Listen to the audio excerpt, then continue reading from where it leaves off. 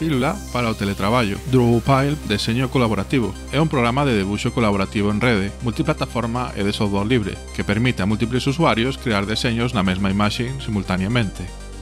Soporta o formato de arquivo de imaxe en OpenRaster e, por tanto, funciona ben con aplicacións como MyPaint, Krita e GIMP.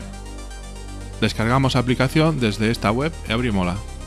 Temos a nosa disposición diferentes pincéis configurables para debuxar, ferramentas de borrado e capas que admiten varios modos de fusión de cores. Tamén poderemos usar imaxes como fondo. Está orientado ao uso colaborativo entre varios usuarios ou dentro dun grupo de traballo. Algúns dos seus posibles usos dentro dunha empresa poden ser revisión e edición en rede de planos esquemas, de mapas e de calquera outro tipo de documento que precise dunha revisión visual para toma de decisións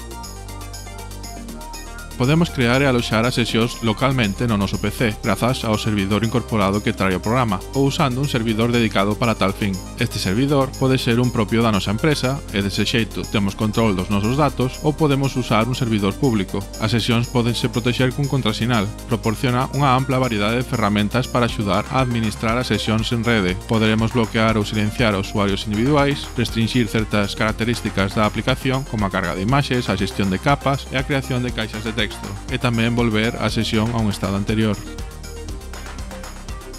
Recomendamos este método para a primeira proba colaborativa deste servizo, porque é o máis doado de usar e non require coñecemento sobre servidores ou redes. Poderemos aloxar sesións usando o servidor path.drawpile.net ou podemos aloxala no noso propio servidor.